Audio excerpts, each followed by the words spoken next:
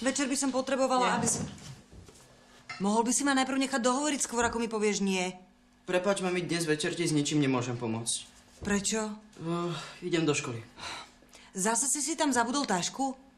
Nie, mám hodinu. Večer? No dobre, nie je to úplne tak hodina, je to skôr kurz. Kurs?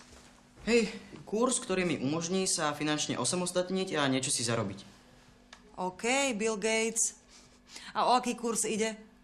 Babysitting. Aha.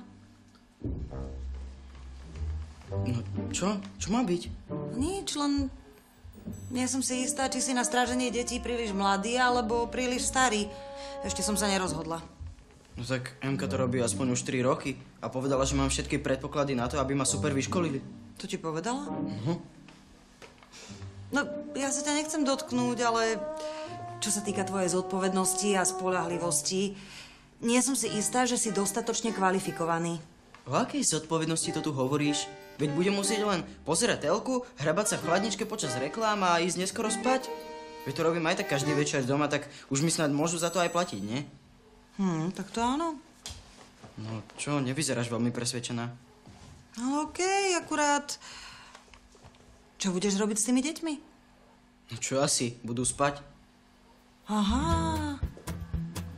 No tak MK má pravdu. V tom prípade si výborne vyškolený. Čau.